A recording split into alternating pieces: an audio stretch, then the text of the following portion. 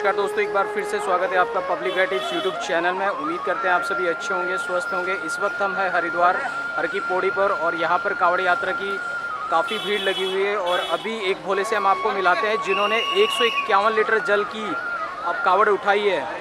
भोले क्या नाम है आपका? गौरव गुज्जर।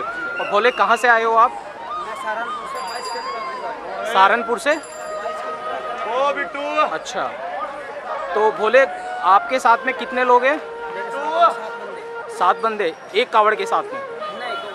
ये जो एक सौ इक्यावन लीटर की आपने कावड़ आप ही उठा के ले जाओगे और ये सारे आपके सपोर्ट करेंगे। अच्छा। तो देखिए दोस्तों एक सौ इक्यावन लीटर जल लेकर गौरव गुज्जर भोले सहारनपुर से 22 किलोमीटर आगे लेकर जाएँगे और इस यात्रा को पूर्ण करेंगे।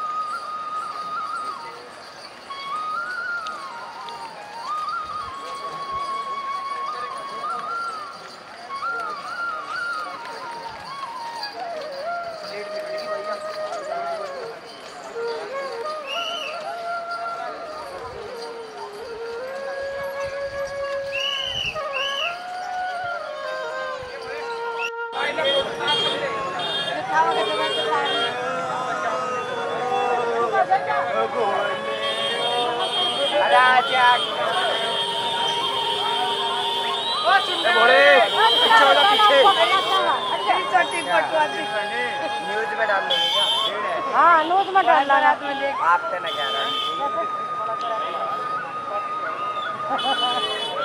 सेहरा पड़